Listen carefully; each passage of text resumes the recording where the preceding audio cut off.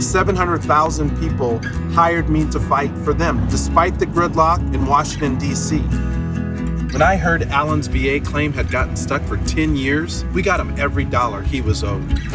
I passed the bill to create jobs for our state because when Nevada land can create Nevada jobs, it should. And I brought both sides together to start building a new highway for Nevada.